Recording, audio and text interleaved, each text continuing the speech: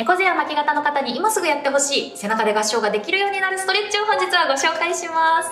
これまでも背中で合唱背中で手が組めるようになるストレッチ出したんですが今回のは非常に簡単なのに非常に効果が分かりやすくてかなりおすすめのものができたと思っております。皆さん騙されたと思って今すぐ一緒にやってみてください。それでは早速始めます。では始めましょう。まずは皆さん背中側で合掌手と手を合わせたポーズとってみてください。肩甲骨のすぐ下あたりに指先が来るぐらいの位置が理想的なんですが難しい方は下の方で指先を合わせるところから始めてみましょう。どうですかね？今の。皆さんの状態手と手しっかりくっつきますか？もしくは肘が後ろに引けるかどうか。そういったところをチェックして始めていこうと思います。まずは2つマッサージをご紹介します。右手握り拳を作っていただいて左の胸から肩のつながっている部分ですね。ここを重点的にゴシゴシとこすっていきます。30秒間です。この鎖骨下から肩にかけてのこの辺りですね。をゴシゴシとこすってみてください。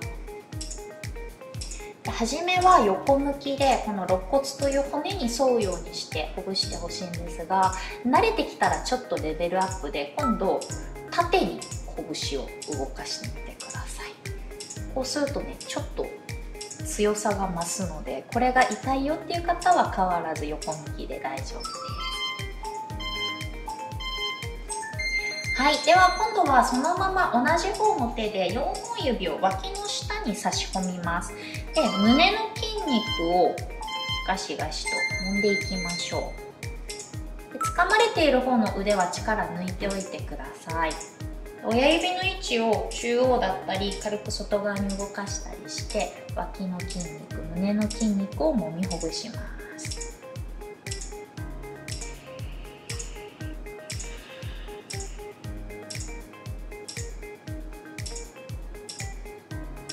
と5秒です。はい。では反対側も同じ動きです。拳作って鎖骨の下から胸全体をまずは横向きにほぐしていきましょう。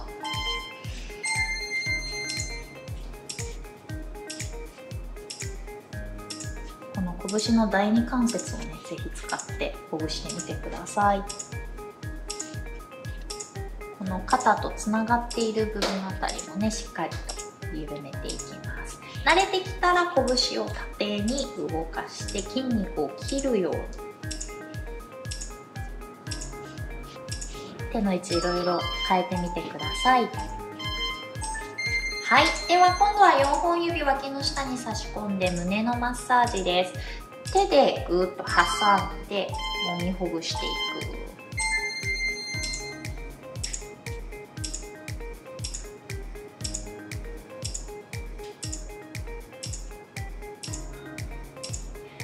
この2つのマッサージは普段猫背だったり巻き肩の方にもすごくおすすめなので是非空き時間なんかにもやってみてください。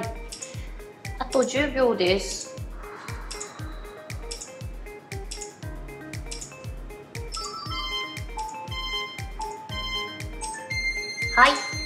では今度は手首のストレッチを行います。片方の手をまっすぐ前に出したら指先を軽く下向きにします。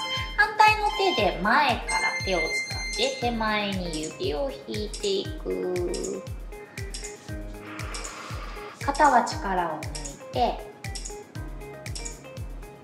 手首から手のひら指の腹あたりまでが伸びるくらい手前にぎゅーっと引いていきます。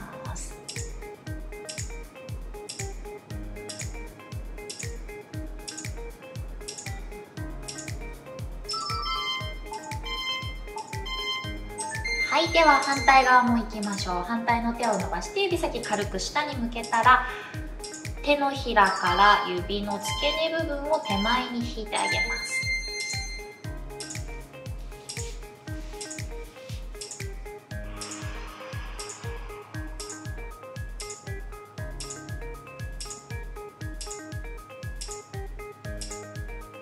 く息のタイミングでより手前に引いてあげる痛い方は吸う息と一緒にちょっと力を緩めるを繰り返しましょう。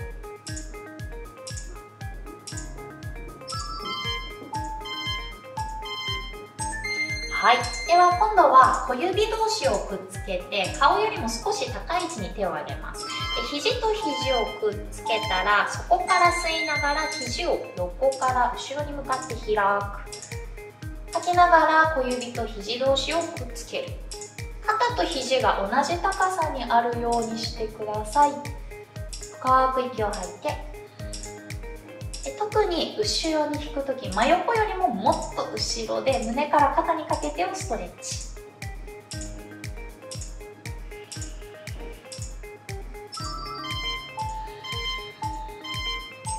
OK です。最後は背中側に手の甲を軽く添えましょう。この状態で吐く息で肘を前後ろを繰り返します。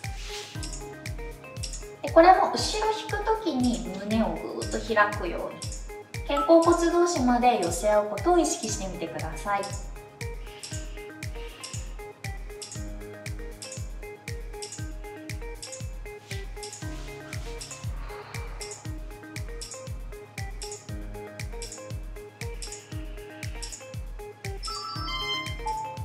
スト1回いきましょう。はい。では動きを止めてもう一度背中側で合掌します。お私もこれはすごい変化を感じる。手を合わせやすくなりましたかね？皆さんいかがでしたでしょうか？本日は以上です。皆さんいかがでしたか？これかなり変化感じられるんじゃないかなと思います。私普段ねこの肩周り胸の辺り柔らかいんですけどそれでもやっぱりアフターはかなり違うなっていう風に思ったので皆さんもぜひぜひ感想コメント欄にて教えてください。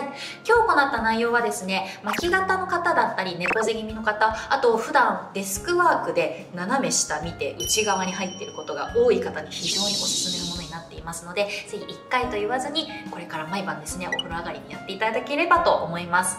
今日の動画参考になったよと言ってくださる方は高評価チャンネル登録をよろしくお願いします。そして感想も欲しいんですが皆さんのリクエストをもとにいつも動画を作らせていただいているのでこんな動画も欲しいよというのがあったらぜひそれもコメント欄にてお願いします。